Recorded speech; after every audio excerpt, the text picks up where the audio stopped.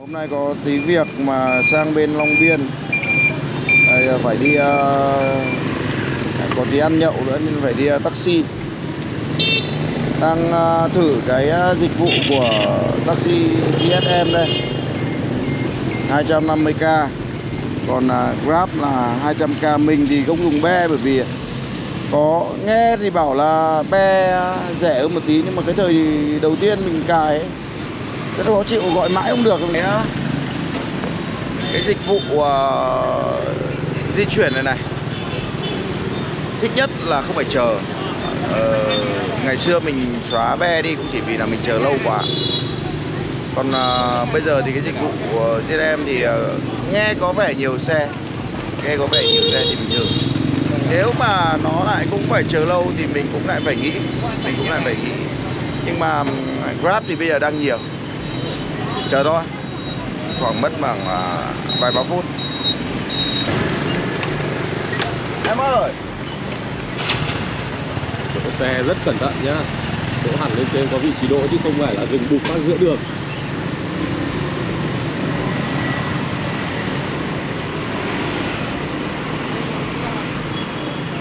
Nhanh đấy chứ. Này lên con xe đầu tiên của mình đấy nó Anh em xin chào ạ. Ờ chào em. Chào anh xe mới là dịch, dịch vụ bây giờ là phải chào khách à? Mình thích đi bây giờ gặp lại con xe đầu tiên thì cảm xúc bồi hồi nhỉ? Anh là một trong những người sở hữu con xe này đầu tiên. 10 xe nhỉ? 10 xe đầu tiên. Ờ à, xe đầu tiên. Mình đây này đi thẳng đây này đi thẳng rồi chưa quen đường này đúng không? Ê.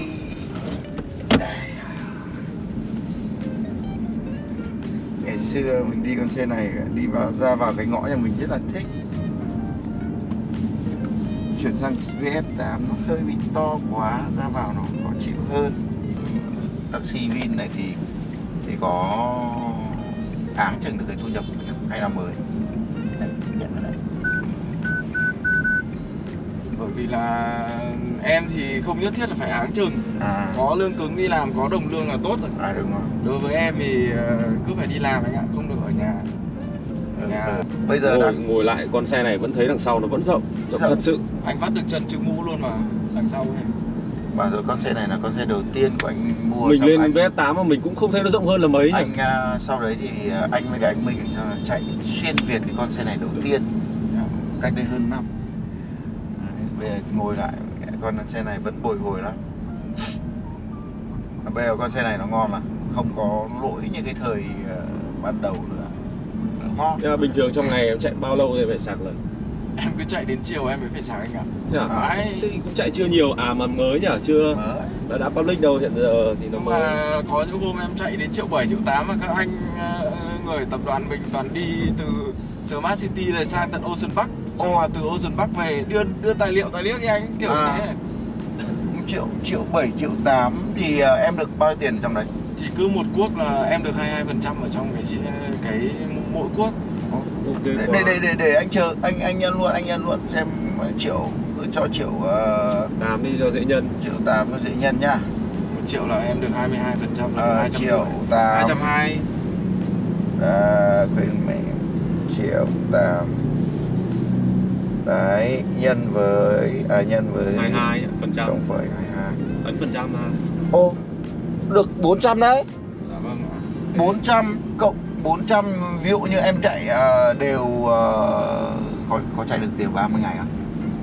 tùy anh ạ. Nếu mà xác định ôm một xe này thì mình cứ cầy tiền thì mình chạy lúc nào cũng được mà. À cứ cho là 4 lít nhân với à, 28 ngày đi đúng không?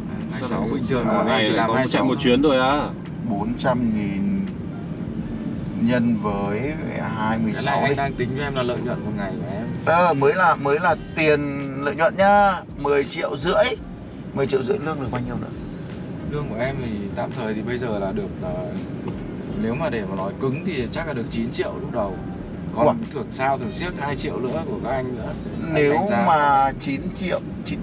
Sao sao anh thấy hôm trước có- kim mà được 11 đấy nhưng mà còn sao rơi vãi sao nữa rồi. Ồ, nhưng mà tại Anh sao lại được giá. 9 triệu mà anh thế em trước anh bảo là à, tuyển phát đầu tiên vào là là 7 triệu rưỡi là bao nhiêu nói 7 triệu gì? Mà đấy là là trừ đi. Trường hợp bị sao xấu bị bị phạt thì nó mới bị lùi anh. Vâng. à, 9 triệu. 9 triệu với 10 triệu rưỡi là 19 triệu rưỡi. Nếu trong trường hợp mà anh cho em năm sao có nghĩa anh cho coi như là anh cho em thêm tiền đúng không thì lúc ấy em sẽ được khoảng độ 11 triệu. 11 triệu cộng với 10 triệu là còn 22 triệu 21 triệu 500 21 triệu 500 thì tốt đấy chứ. cũng không không cũng là tốt đấy. không, không. đối với lương làm không việc là lắm, tốt. đúng không? Ừ, là tốt đấy. Em chạy 1 triệu 7 một ngày. Đấy là hôm đấy em cố gắng thôi chứ còn ờ nhưng mà hôm ấy triệu 7 một ngày là là là em chạy khoảng bao tiền? Triệu bảy một ngày thì hôm đấy bởi vì là cái thời điểm này là các cái quốc khách ý, đa Ừ. phần là toàn quốc xa ạ. ừ chỉ toàn đi từ những khu đô thị của lọ của Ừ. Vin nhà mình đi Ừ. đến Ừ. khu đô thị khác ấy ừ đấy ví dụ như em đang ở Smart này em bắt một quốc đi uh, Ocean. một cái chị chị đi làm ở bên uh, Symphony ở bên Riverside này, này. à cũng cũng gần giống như anh chạy sang bên đấy đây đúng không như như thế này này À. thì là đấy nó cứ rơi vào tầm tiền như này thì khoảng 200 xong rồi em đang ở bên đấy đấy thì có người ở Symphony đấy thì lại đang đi, muốn đi về nhà ở bên này chẳng hạn ừ. lại lộn thì về em lại lộn về về Smart luôn mà đang là ở được Smart thì lại thế là được à, 5 lít rồi đúng không Ờ, Đấy, được 5 nhanh lắm. nếu mà chạy người của tập đoàn nhà mình mà chạy cứ như này thì đơn giản. Nếu mà kể vào ờ, chạy bình thường ít nữa mấy hôm nữa chạy thật đi nữa thì cũng ok. Nói chung là cứ cố gắng thôi anh ạ chả biết làm thế nào. Em chạy được ờ, như này bao nhiêu hôm rồi? Em chạy em lấy xe được tuần này. Mới cầm xe chẳng ạ. Và ừ. cái cách bạn ấy đạp phanh thì mình biết là bạn ấy mới mới chạy chưa quen với cả cái thu hồi động năng của con này. À đúng rồi bởi vì là em nói thật là cũng ờ, trước làm công ty kia thì ờ, có bằng thì cũng lâu nhưng mà làm công ty kia thì thi thoảng phải đi công tác thì mới lấy xe của công ty đi thôi. Ừ. đi công tác tỉnh. Chung là trong phố này còn phải diễn nhiều lắm em phải học bao người. Chả phải đâu, nhưng con con này là nó sẽ khác xe xăng. Em chạy đi là em sẽ thấy rằng là Về sau em chạy quen ấy, hầu như em đụng đến chân phanh ít cực kỳ luôn Nó khác với cả xe điện. À xe xăng là con xe điện này nó nó có thu hồi động năng là em về sau chế độ này thì là không phải dùng phanh mấy. Đúng Đúng rồi. Rồi, Eco đấy. Lâu lâu mình không dùng con này. Chị vẫn thích mà. vẫn thích mà lần trước à, đi xuyên Việt chạy em từ có tiền em mua luôn xe này luôn. Sau một tuần em trải nghiệm. Em nói thật không phải Tại là sao? ấy đâu xe nó đi nó thích. Tiền điện này anh bảo ừ, đổ có toàn ví dụ tính ra tiền ờ, có ờ, đi hôm nọ là hơn 200 cây mà em tính ra tiền điện nếu mà sạc như thế mà 3.000 mốt một cây ừ. so với cái đơn nhiêu giá mốt một cây à, thuế. 3.000 mốt một số bao nhiêu Số. số một số Đấy, thì là tính ra là em chỉ phải mất có 130 nghìn Thì anh bảo là hơn 200 cây có 130 nghìn thì tươm quá thì Thơm đúng cái đấy thì cái So với cả xe xăng thì ăn đứt luôn anh à, anh đang đi xe điện rồi cho nên anh anh thấy cái đấy thì thì là đúng. Như họ giao cho em thì họ sẽ họ sẽ bàn giao kiểu gì? Bọn em ở trên điện thoại hết Em lại không tiện rời điện thoại ra À. thì Em đang đi xe.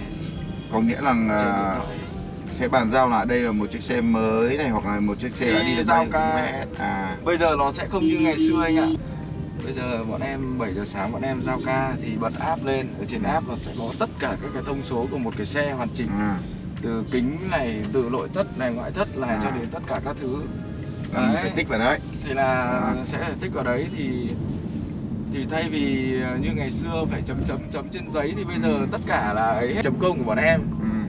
đấy và sau sau đấy là một tuần là bọn em phải mang về hai lần để kiểm tra ờ, xem xe có xe và xây kiểm tra không không? Giấy tờ bằng lái rồi là các thứ. Ừ.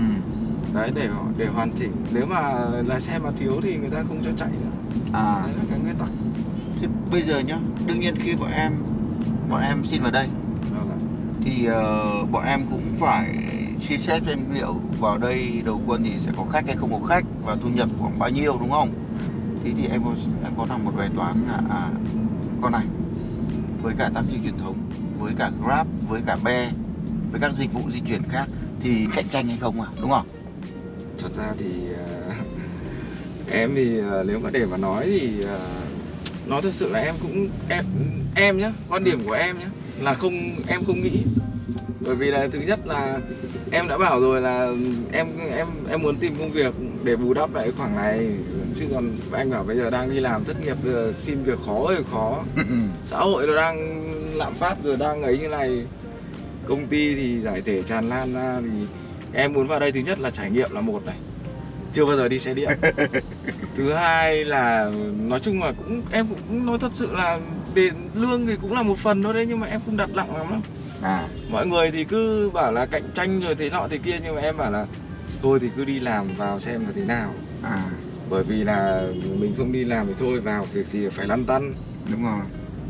Mà cứ cứ cứ đi cả mà bây giờ tạm thời chạy chục ngày thì đấy thu nhập cũng được đúng không?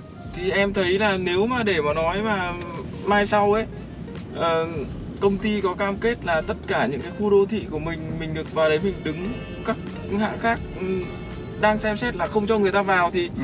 thì tội gì? Đúng rồi. bây giờ mà bản thân nhá tập đoàn Vin của mình rất nhiều người rất nhiều anh chị là quanh Hà Nội làm hoặc kể cả các tỉnh luôn. Ừ.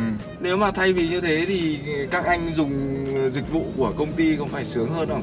Mà lại còn hơn nữa là cư dân của Vin kiểu gì mai sau cũng được ưu đãi người ta sẽ dùng cái hàng này. Ừ. nghe nghe đâu nghe đâu bảo là sắp tới thay vì voucher mua xe thì sẽ cho voucher đi xe taxi Và à. thấy bảo là mấy chục triệu cơ mà anh. ờ, mấy chục triệu đi cả năm luôn đúng không thì em cũng không ấy lắm nhưng mà nói chung là, là trong cái trong cái lúc như thế này thì bảo là em có sợ cạnh tranh không em chịu các ông tài già đi lái cái này này ừ.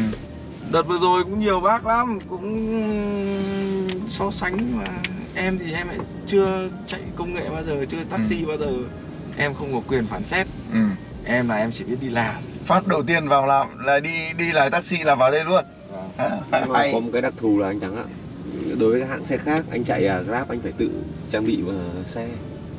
Đấy là một khoản đầu tư mà cái đấy nó cũng hàng tháng anh phải ít nhất phải trả tiền lãi đã. Thứ nhất phải có tiền Đúng gốc rồi. thứ hai phải trả lãi cho cái xe để để phải quay vòng được cái xe đấy đã. Đấy cũng là một cái áp lực không đơn giản.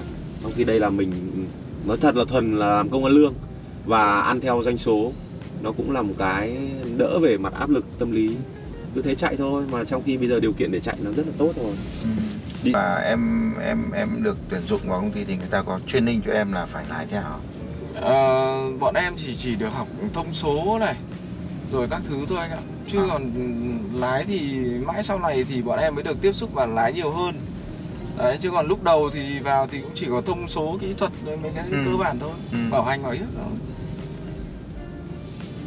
dụ như là công suất này ví dụ như là các kiểu các thứ thì bọn em nắm được cái đấy bởi vì cái đấy nó trong chương trình đào tạo của bọn em. Ừ. bắt buộc bọn em phải biết cái đấy thì mới thi được qua cái chương trình đào tạo. Vào đây là phải thi đấy anh ạ chứ không phải đơn giản đâu học trên app điện thoại hết này. À. Khi nào các bác mà già già một tí muốn lười cũng không được luôn.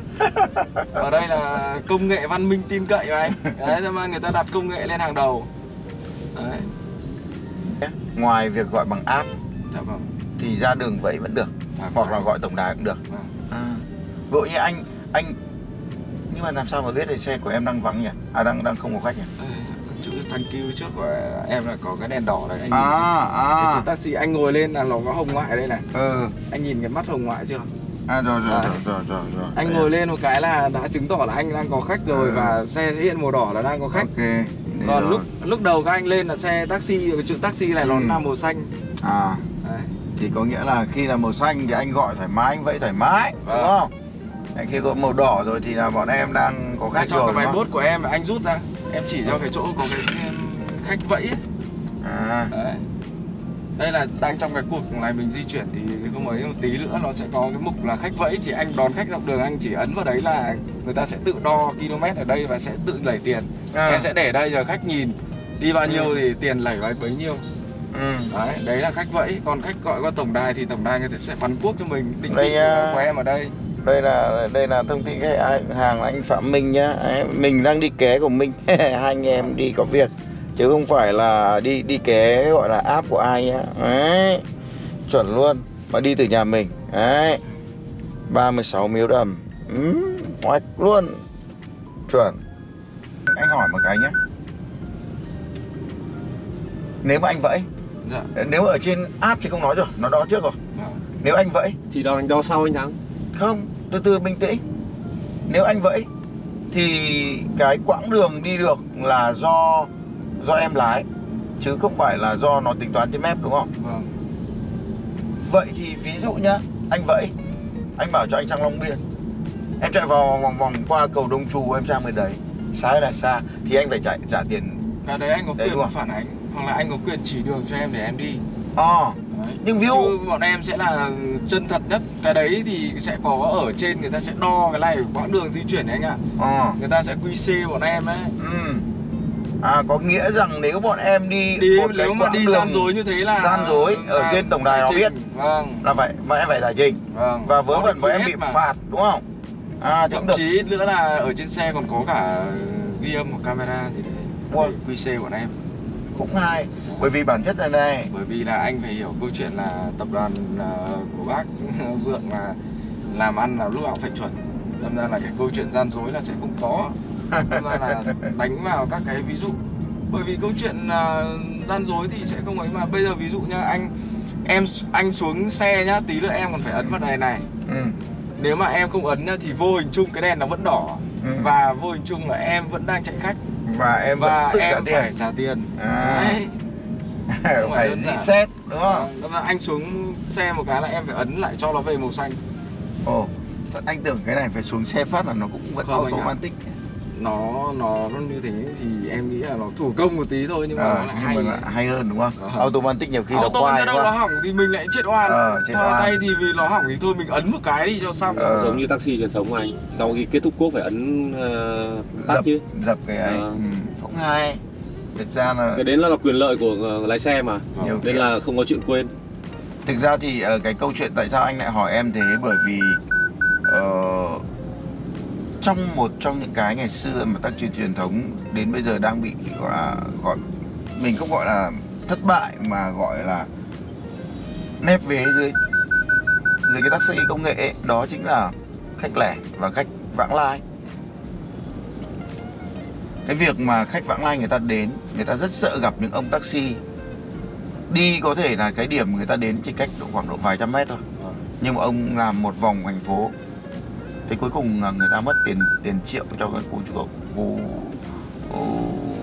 một cái cuốc xe chỉ chỉ mấy trăm mét thôi. Kể cả cái câu chuyện là Nhá. cái đồng hồ người ta cũng gian dối mà anh. Đấy cái đồng đấy hồ người ta cũng ngày gian xưa. dối đã là phần một phần. Bản thân em ngày xưa em đã đi gặp nhiều trường hợp bản thân mình trải nghiệm bị mấy quả.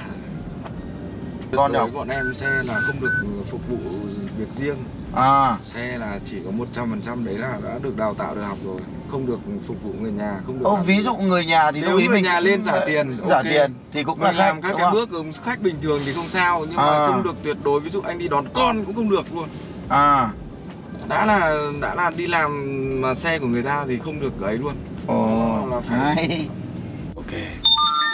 Hai trăm năm anh hai trăm năm mươi một cũng là đúng. Mà là, là đúng. Riêng dịt luôn. hai năm một vâng em xin anh. Anh cảm ơn anh nhá. À. ngoài giả tiền mặt thì ờ, chơi bằng cách khác cũng được đúng không? Ờ, đây này anh thắng nhìn để xem. Nó có thể là đấy. Ấy đúng không? Nguyễn có, có QR để để chuyển khoản à? không? Có. Đây ờ, cái này là thẻ tín tín dụng còn cái này là thẻ bình thường. À. Thế còn ngoài ra chuyển khoản thì sao? quét quét QR code nó nằm ở đây luôn này. Đấy À, à, scan à, cam VNPay. này À, của VNPay nhá. Cuộc này hay. Made in China. Đấy có nghĩa là vào phát là thẻ. in luôn cả cái này kìa. À mình in cho anh phát. Em đang ấn đây in. À. Đấy oai chưa đấy oai chưa đấy đi từ mễ trì nhà tôi nhá. Sang mẹ ăn mát nha 251 nghìn. Hoạch luôn được taxi Nguyễn Khắc Ngọc Ngọc à. Thì để anh cho mày à, 5 sao.